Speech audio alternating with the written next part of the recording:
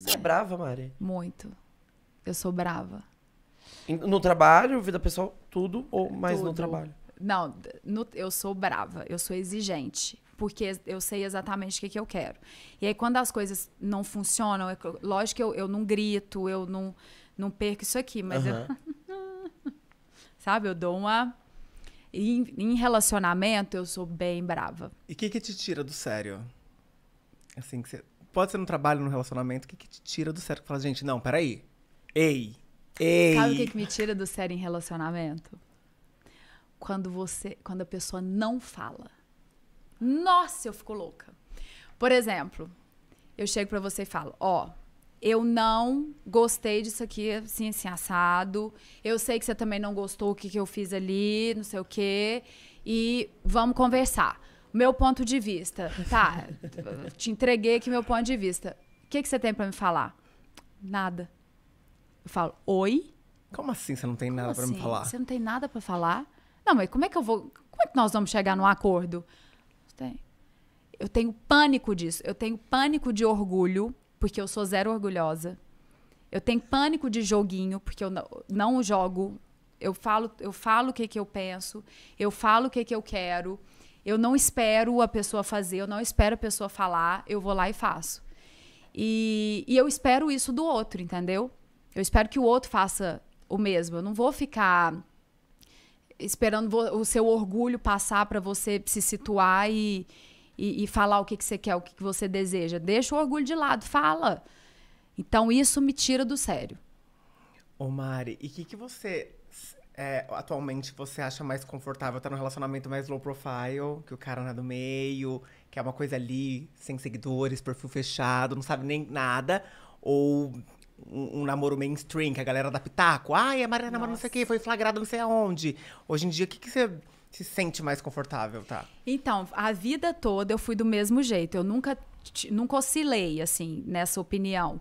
De, ai, agora eu quero uma coisa mais pros holofotes. Não, eu É. sempre fui muito discreta. Sempre. Eu já vivi relacionamentos e já fiquei com pessoas que ninguém nem sonha, que não sabem, e que, assim, às vezes nem as minhas melhores amigas ficaram sabendo. Quem é? Um nome é um nome. Não, isso, isso dá vida, isso dá vida, assim. Não é do meio. Pode ser do meio, pode ser de Hum. tudo. E, é, e eu sempre fui muito reservada. Eu já namorei, um, eu já namorei tempos com pessoas e que ninguém ficou sabendo. Obrigado. Que eu estava num namoro, num relacionamento, que eu estava praticamente morando junto e ninguém ficou sabendo.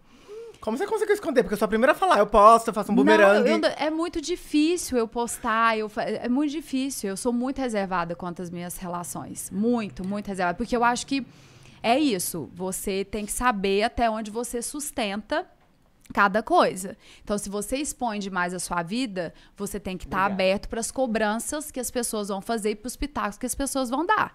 Então, você está pronto para passar por isso, sabe? É isso que você deseja? Então, cuidado com o que você oferece, com o que você abre para o que você vai é, receber de volta. Não adianta você expor demais, abrir demais e falar, ai, gente, não, não façam isso comigo, não falem desse jeito. Mas você está falando assim de você. Você abre é, precedente para as pessoas falarem. Então, a gente tem que cuidar disso.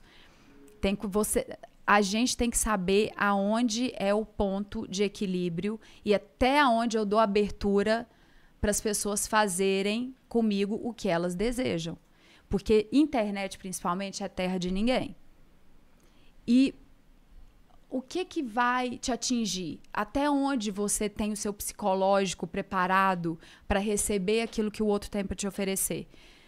Então a gente precisa se conhecer. Você tem que estar bem com o seu emocional. Principalmente nós que somos pessoas formadoras de opinião, pessoas públicas. A gente tem que saber, a gente tem que estar preparado.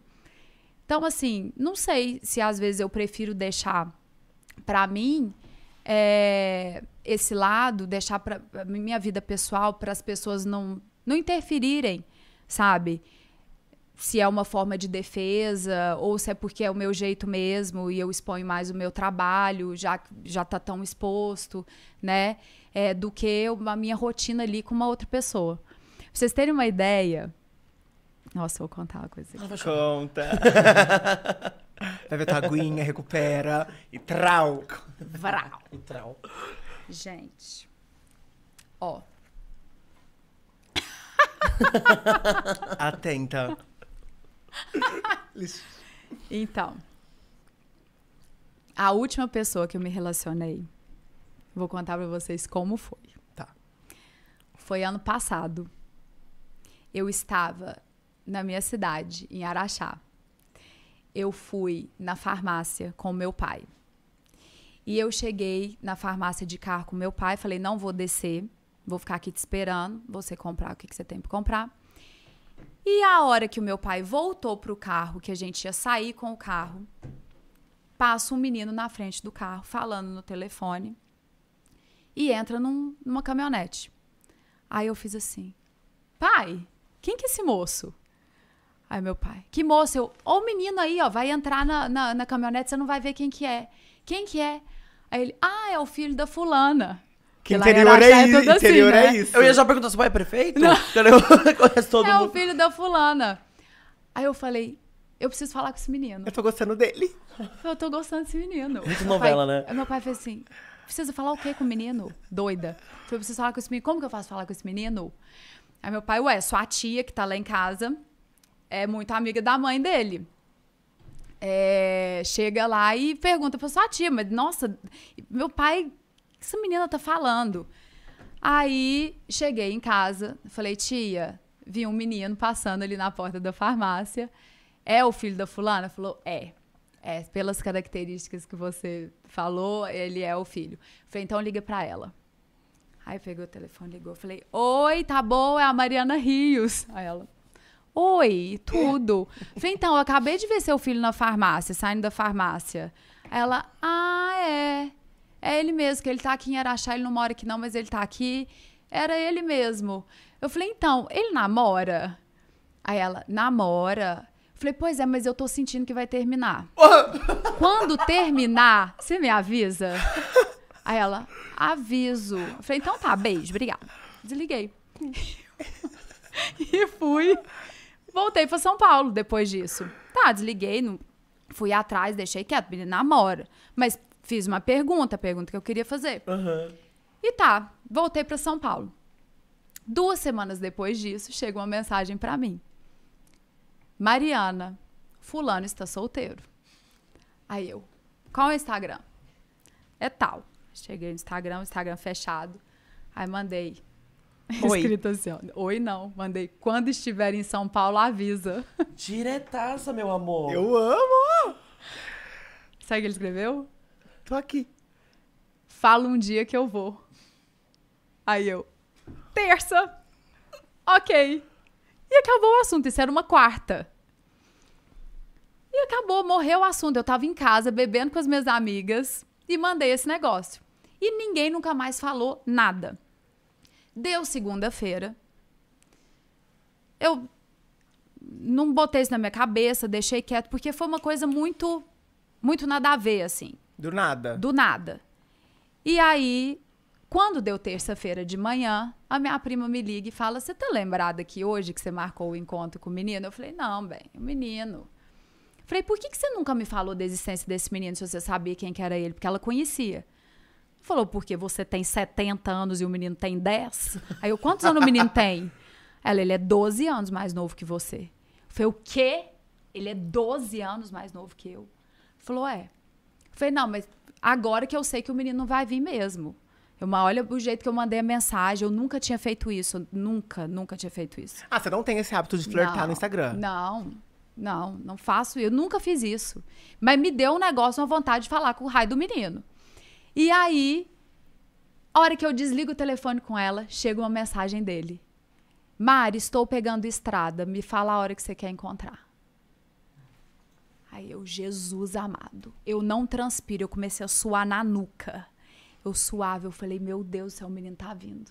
O menino tá vindo, o que que eu vou fazer? O que que eu vou conversar com essa criatura? Falei, o que que eu vou falar com esse menino? Não tem cabimento eu fazer isso. E se eu não gostar da voz do menino?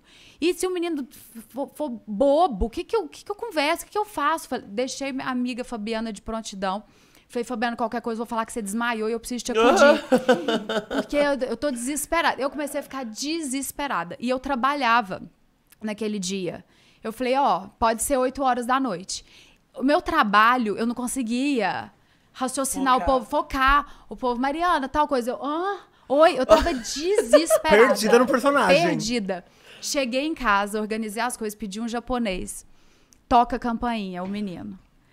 Aí eu, gente, por que, que eu fiz isso, meu Deus? Abri a porta. Aí eu, tudo bom? Eu tinha visto o menino passando, gente, até então. Falei, tudo bem. Quem que é mais louco, eu ou você?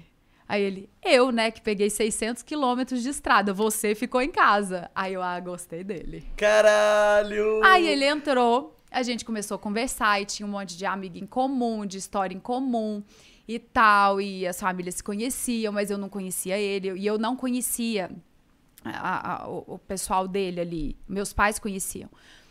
E aí, a hora que eu vi, gente, eu e esse menino, a gente ficou junto, mas a gente ficou junto, tipo, cinco meses, seis meses, quase que um casamento. Assim, ó. Aí chegou uma hora que teve que acabar, né? Mas por quê?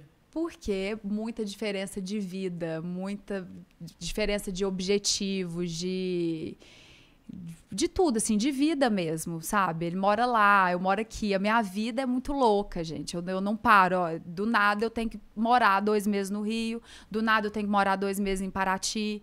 De repente, eu parece um trabalho amanhã, eu tenho uma viagem marcada com a pessoa amanhã, eu tenho que desistir da viagem. É assim, a pessoa, além de tudo, ela precisa ser muito compreensiva. E flexível. É, é, é muito complicado. Enfim, esse foi o meu último relacionamento. Eu já mostrei uma vez o quanto milhares de pessoas deixam dinheiro pelo meio do caminho porque não são pagas para assistir vídeos na internet, igual a mim que eu tô fazendo aqui agora. Há milhares de empresas no Brasil e no mundo que pagam pessoas comuns como eu e você para fazer isso daqui, ó, consumir conteúdos dentro de plataformas. E eu quero ensinar definitivamente isso para você. Se você quer aprender como fazer isso, clique no link da descrição do vídeo ou no comentário fixado abaixo que eu te mostro tudo. E aproveita que talvez essa seja a última vez que eu estou aparecendo aqui. Música